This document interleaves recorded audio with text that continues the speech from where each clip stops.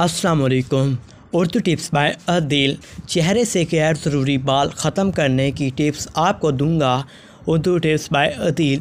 ख़वान को चेहरे पर गैर ज़रूरी बालों की शिकायत होती है और इसके लिए वो हर माह पार्लर के चक्कर लगाती रहती हैं और इन बालों की वजह से इनका अहतमाद बिल्कुल ख़त्म हो जाता है और ख़ूबसूरत नज़र नहीं आती। लेकिन अगर वो रोज़ाना घर में मौजूद इन चीज़ों का इस्तेमाल करें, जो इस वीडियो में हम आपको देंगे तो चेहरे के बाल ख़त्म हो जाएँगे, बल्कि इनकी वैक्सीनिंग की जेल जलन तकलीफ़ से भी निजात मिल जाएगी। टिप को लिख सकती हैं। एक नींबू के रस में एक चम्मच शहद डालकर अच्छी तरह मलाएँ और इसको चेहरे के वो हिस्से जहाँ गैर ज़रूरी बाल हैं, वहाँ पर लगाएँ। इस नुस्खे को रोज़ाना दिन में किसी भी वक्त कर सकती हैं और सूखने पर एक तोलिए की मदद से चेहरे से हटाएँ। इस तरीके से आपकी जल्द से अंदरूनी तौर पर बाल खुद ब खुद निकलने शुरू हो जाएँगे और इनकी जड़ें भी कमज़ोर हो जाएँगी।